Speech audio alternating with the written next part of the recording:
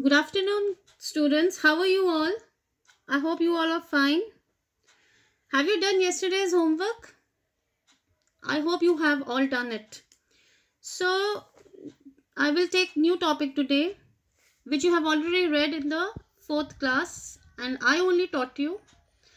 The topic is the sentences. Okay. As the topic suggests, what do you mean by the word sentences? Means vakya. Hindi में आप वाक्य पढ़, आपने वाक्य पढ़ा है in English we call it sentences okay I have taken two examples first is I am Ritu whenever when we read this line I am Ritu what you mean by this मैं ऋतु हूँ. Means it has some sense yes so this is the correct sentence now the second one is to garden the went i does it make any sense you said ma'am आपने क्या लिखा हुआ है इसका तो कोई मीनिंग ही नहीं है yes because this is a wrong sentence which does not have any meaning if i write i went to the garden मैं गार्डन में गई थी। Now it make some sense complete sense it makes okay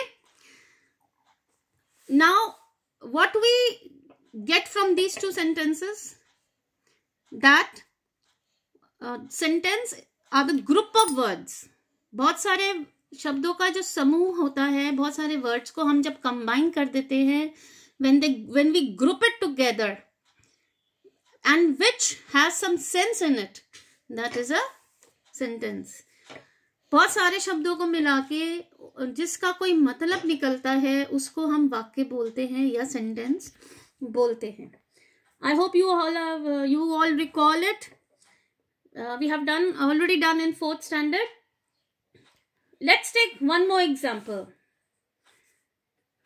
in the drawing room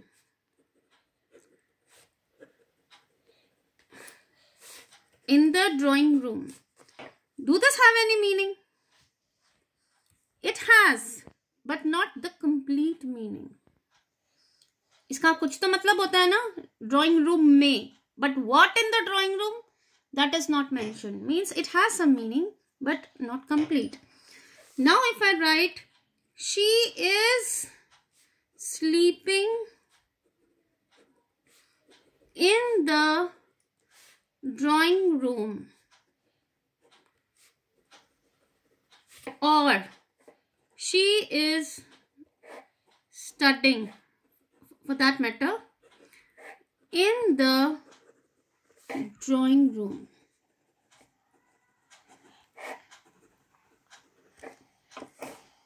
मतलब तो इसका भी निकलता है in the drawing room but इसका पूरा मतलब नहीं निकलता कि ड्राइंग रूम में what activity is going on but if I write she is sleeping in the drawing room or she is studying in the drawing room. This makes the complete sense.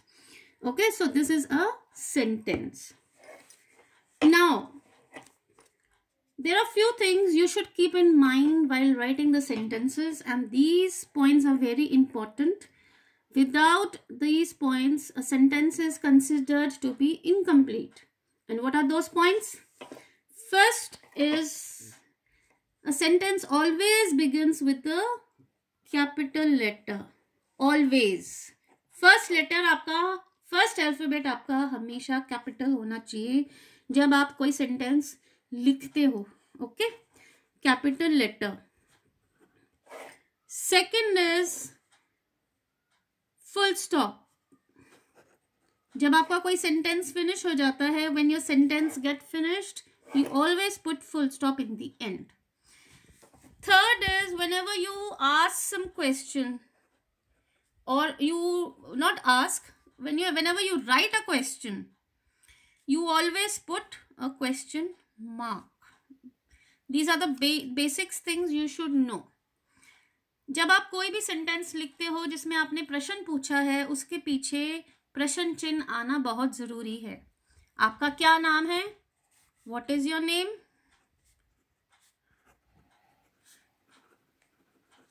question mark. I still remember I taught you when when we were doing interrogative sentences in grammar. I have told you कि जब भी interrogative sentences करते हैं it always ends with a question mark. Okay, so these things you should keep in mind. And I am sending worksheet related to this topic only. Kindly do it in your separate notebooks and uh, with good handwriting. Thank you. This is Ritu signing off.